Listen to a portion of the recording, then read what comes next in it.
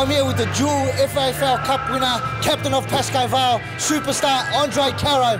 Andre, I thought you was a bit flat in that game. Is that how you felt out there? Definitely. I think, yeah, uh, poor performance by us, in my opinion. Still got the, the win, so which is not that bad. Andre, you've won, like I said, the previous two FAFL Cups. How would the third one compare? The teams, the way the, the system's going here, how would you say it's going? I think it's a different format. So like this, this year, the Saturday day matters, which in my opinion is better. So like it makes every game entertaining, every game counts, and that's what we want. Next game you got, uh, you're facing uh, So, uh, South Fremantle. South Fremantle. You've played them previously, in, known as Fremantle Mudukara, a semi-final and a final.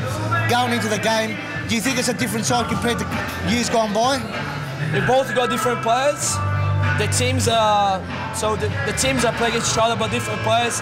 That will be a, a definitely a very good game.